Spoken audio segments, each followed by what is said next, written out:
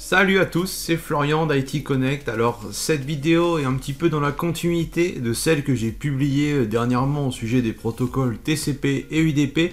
Et là on va rentrer un petit peu plus dans le détail euh, sur le fonctionnement du protocole de transport TCP.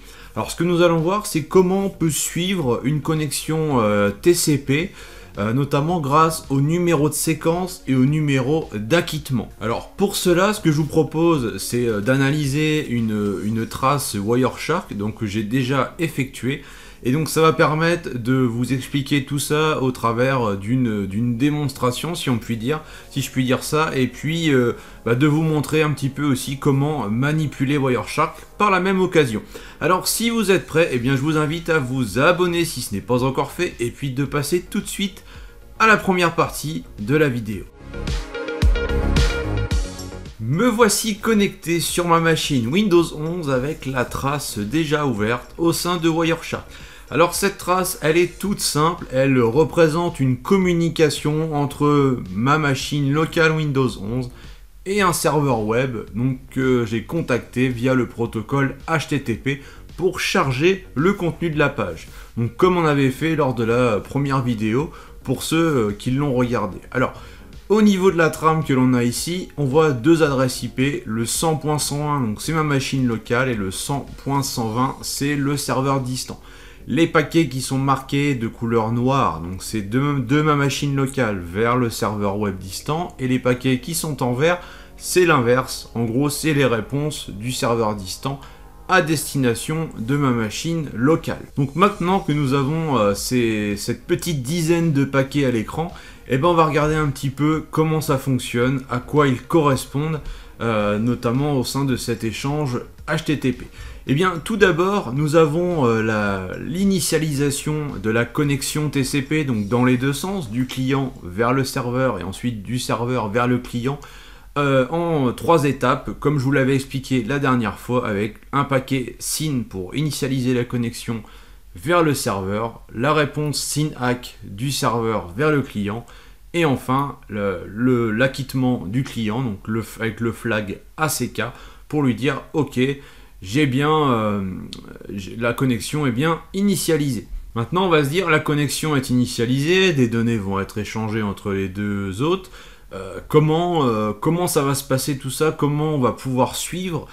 Comment les deux autres vont pouvoir s'assurer que toutes les données sont bien reçues? Puisque je vous rappelle que TCP a cette capacité à justement pouvoir réémettre des octets qui auraient été perdus en cours de route. Donc pour cela, tout ça doit être suivi euh, et euh, tracé, si on peut dire ça comme ça. Et donc ça fonctionne grâce à des numéros de séquence et des numéros d'acquittement. Alors quand on sélectionne un paquet, par exemple le paquet numéro 1, on va voir ici séquence number. Donc là c'est le numéro de séquence 0 et le numéro d'acknowledgement qui lui est également à 0. Je reviendrai après sur la partie euh, row pour le, numéro de séquence et pour le numéro d'acquittement. Alors, ça c'est vraiment deux informations importantes, on voit que ça commence à 0.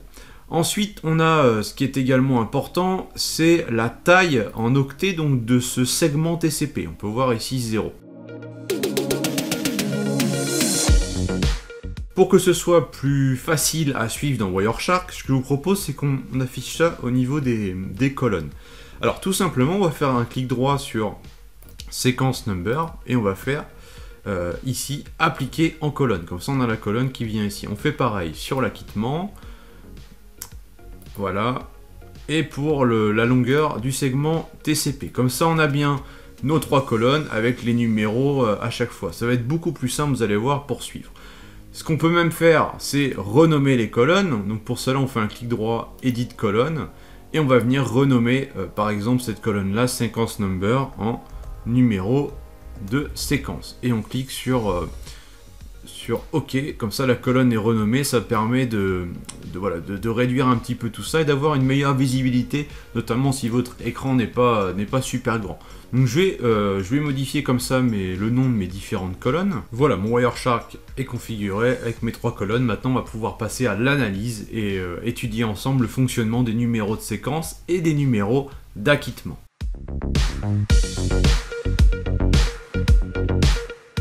Nous allons vraiment prendre les paquets un par un pour que je puisse vous expliquer le fonctionnement et que vous puissiez bien comprendre le déroulement, euh, notamment l'évolution euh, des numéros de séquence et d'acquittement dans le temps, puisque là les paquets sont vraiment classés par ordre chronologique. Alors tout d'abord, on peut voir que quand le client contacte le serveur, le numéro de séquence est à 0 et le numéro d'acquittement également. Et quand le serveur répond euh, au client, le numéro de séquence est également à 0, par contre l'acquittement lui est à 1. Alors il est à 1, c'est d'un côté c'est surprenant puisque normalement le numéro d'acquittement permet de dire euh, à l'autre euh, distant OK j'ai bien reçu X octets de ta part, donc par exemple si j'envoie 10 octets, l'acquittement ce sera égal à 10 parce que je dis en gros à l'autre qui m'a envoyé les données que j'ai bien reçu 10 octets. Comme ça, il sait que j'ai bien tout reçu. Mais là, en fait, je lui ai rien envoyé et lui, il me répond avec un acquittement égal à 1. Finalement, pour le serveur, c'est une manière de dire au client Ok, j'ai bien reçu ta demande de connexion et je l'initialise à mon tour. Comme ça, le, le, client sait que le serveur a bien reçu la demande de connexion. Ensuite, donc là, on termine le processus d'initialisation de la connexion TCP. Le client donc positionne son numéro de séquence à 1, donc il se base en fait sur le numéro d'acquittement euh, du serveur. Euh, et donc, il lui envoie aussi à son tour un acquittement égal à 1 pour lui dire Ok, j'ai bien reçu la demande d'initialisation de la connexion. À partir de là, le transfert de données va pouvoir commencer. Donc, le client, il vient d'envoyer un acquittement au serveur pour finir d'initialiser la connexion, et maintenant il va émettre une requête. Donc il va demander au serveur, via le protocole HTTP, eh bien en gros, envoie-moi le contenu euh, de, ta page web. Donc pour cela, on positionne le segment numéro de séquence à 1, le numéro d'acquittement, bah, il est toujours à 1, et on envoie la requête. Donc c'est une requête, on peut voir, de, de taille 368 octets. On va voir que c'est une valeur particulièrement importante. Donc ensuite, on a le paquet numéro 5 où le, serveur va répondre au client avec un, paquet TCP avec un flag ACK où il lui dit en gros OK, j'ai bien reçu ta demande de j'ai bien reçu ta requête, j'ai bien reçu ta demande. Et si on regarde donc le numéro de séquence est toujours à 1. Par contre, le numéro d'acquittement, il est passé de 1 à 369. Alors pourquoi? Eh bien parce que mon client il a envoyé 368 octets.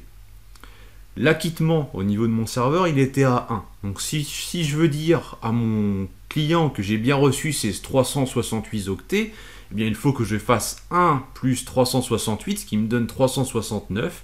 Donc je lui dis, j'ai euh, en gros j'ai bien reçu 369 octets euh, de ta part, ce, qui, correspond bien à l'ensemble des données. Donc, à partir de là, on sait qu'il n'y a pas eu de, perte de paquets, euh, de perte d'octets euh, en chemin, on va dire, entre les deux autres. Ensuite, le serveur web va envoyer à notre client le résultat, le contenu de la page. Donc pour ça qu'on a une requête HTTP 200 OK. Lui, il est toujours au numéro de séquence numéro 1. Le numéro d'acquittement, bah, c'est toujours 369 puisqu'on a déjà émis l'acquittement juste au-dessus et qu'entre deux, il s'est rien passé on n'a pas reçu de données supplémentaires de la part du client, et par contre là on lui répond au client avec euh, donc un 426 octets euh, au sein du paquet. Quand le client va répondre au serveur avec un acquittement pour lui dire qu'il a bien reçu tout ou partie des données, en tout cas il va lui dire ce qu'il a reçu, le numéro de séquence va être à 369. Le, on, se positionne vraiment au niveau du numéro de séquence au début euh, du segment TCP. Donc finalement, on reprend la suite de ce qui a déjà été envoyé. Et comme ici, on peut voir 369, c'est l'acquittement, donc c'est là où en est le serveur. C'est là aussi où en est le client. Donc on peut se dire que là, il n'y a pas eu de perte de données. Donc ça, c'est le numéro de séquence. Le numéro d'acquittement, eh bien, c'est 427 dans le sens où on, avait un numéro d'acquittement côté client qui était à 1 et on vient de recevoir 426 octets, donc on passe à 427 et on lui dit seulement qu'on a reçu les données, donc il n'y a pas de, il y a 0 octet euh, envoyé euh, en termes de données. L'échange de données entre les deux machines est désormais terminé. Alors le serveur web, il décide de, euh, mettre fin à la connexion TCP, ou en tout cas il va avertir de son envie de mettre fin à la connexion TCP au poste client. Alors c'est pour ça que le paquet numéro 8, c'est du serveur vers le poste client et que nous avons les flags TCP FIN et HACK. Donc ça c'est tout à fait classique lorsque on veut fermer une, connexion TCP de façon propre. Donc le serveur, enfin le client répond au serveur avec un acquittement et aussi un fin hack pour lui dire en gros ok je suis d'accord pour fermer euh, euh, la connexion TCP.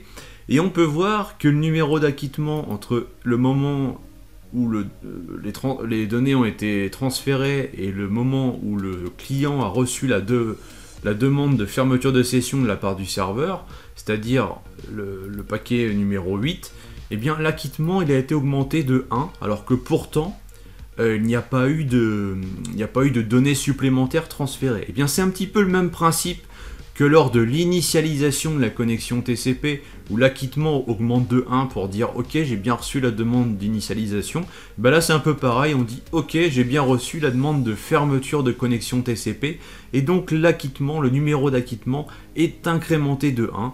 Donc il faut vraiment retenir que quand il y a le flag SYN ou FIN au sein d'un paquet euh, euh, TCP, eh bien l'acquittement va automatiquement être incrémenté de 1. Et donc c'est pour ça aussi que si on regarde le tout dernier paquet, où là c'est le serveur qui renvoie la réponse au client en lui disant bah ok j'ai bien j'ai bien compris qu'on pouvait fermer la session puisque tu m'as aussi donné ton accord et eh bien le numéro de séquence est passé à 428 euh, également comme, comme le numéro d'acquittement euh, côté, euh, côté client. Pour finir cette vidéo, je vous propose que l'on s'intéresse à l'ISN, c'est-à-dire le numéro de séquence initiale.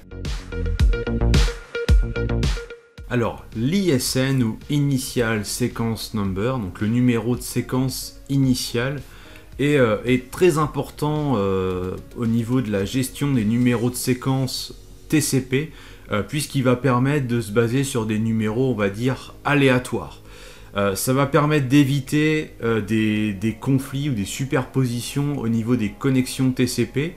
Euh, notamment par exemple si une machine établit une connexion avec notre serveur, on transfère des données et d'un coup la machine cliente elle va planter.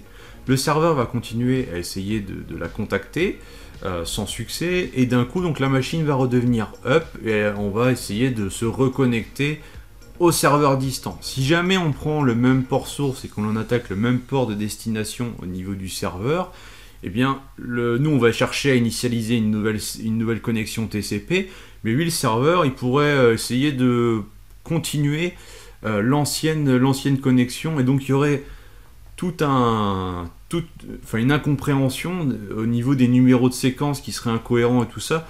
Donc on ne peut pas se permettre ce genre de dysfonctionnement. Euh, avec TCP qui est là justement pour être un protocole euh, fiable. Alors c'est pour ça qu'on utilise des numéros de séquence aléatoires et non pas euh, le 0 comme je vous l'ai montré depuis tout à l'heure au niveau de Wireshark. Ça c'est vraiment ce que Wireshark appelle un numéro de séquence relatif. Donc c'est vraiment le Wireshark qui met 0 pour que ce soit plus facile pour nous quand on va analyser la trace réseau bah, à comprendre et à suivre le, déroulement. En fait, quand on va regarder un paquet, par exemple, je prends vraiment le premier, comme ça on va vraiment voir ce que ça donne. On a ici un numéro de séquence, donc qui est en fait notre euh, ISN. Et ce numéro de séquence, on peut voir que c'est pas du tout 0, c'est une valeur euh, aléatoire euh, sur, donc sur 4 octets et qui va nous permettre de, qui va nous servir de point de départ. Et au niveau serveur, c'est pareil, dans l'autre sens, on aura un numéro de séquence aléatoire qui sera déterminé. Et comme ça, grâce à ce numéro, on va, euh, éviter les problèmes, notamment ce que je viens, ce que je viens d'évoquer. Alors il faut retenir que dans Wireshark, quand on voit 0, c'est vraiment pour nous aider, nous, les humains, à bien comprendre euh, et à suivre plus facilement l'échange au niveau du, logiciel. Par contre, dans la pratique, au niveau des trames réseau qui transitent entre les machines, le point de départ, ce n'est pas zéro, mais c'est vraiment cette ISN. Après, ça ne change rien au fonctionnement. Euh, lorsque l'on va initialiser la connexion, euh, ben, quand le paquet euh, SYN va être reçu, il y aura bien 1 plus 1 au niveau, au niveau de l'acquittement, même si le numéro de base est beaucoup plus important. Après, ça ne change rien au fonctionnement. Euh, c'est seulement le numéro de départ en fait qui est différent et donc après forcément tout le reste va aussi être différent. Euh, mais les, voilà, la taille des paquets, tout ça, rien ne change. Voilà, nous venons de voir, euh, grâce à cette analyse de trame et euh, l'analyse du fonctionnement des numéros de séquence et d'acquittement, que le protocole TCP est réellement fiable, dans le sens où il y a un vrai suivi entre les numéros de séquence et les numéros d'acquittement, qui vont permettre, si jamais il y a un trou, eh ben de, de, de l'identifier et au serveur de réémettre, ou au client de réémettre les données euh, manquantes. Donc justement grâce à ce suivi. N'oubliez pas non plus cette notion d'ISN qui permet d'avoir un numéro de séquence initial qui va être aléatoire et non pas zéro comme peut nous laisser euh, croire euh, euh, Wireshark. Donc ça c'est un petit détail mais il faut, il faut l'avoir en tête également. J'espère que cette vidéo vous a plu. Si vous en voulez encore un peu plus au niveau de, au sujet de TCP, n'hésitez pas à m'en faire part parce que c'est vraiment quelque chose de très riche qui peut être vraiment complexe. C'est pour ça aussi que je veux le découper en plusieurs vidéos pour pas que ça fasse euh, trop d'un coup et, et pouvoir y aller progressivement. N'hésitez pas à liker, à partager la vidéo et puis on se retrouve rapidement. Ciao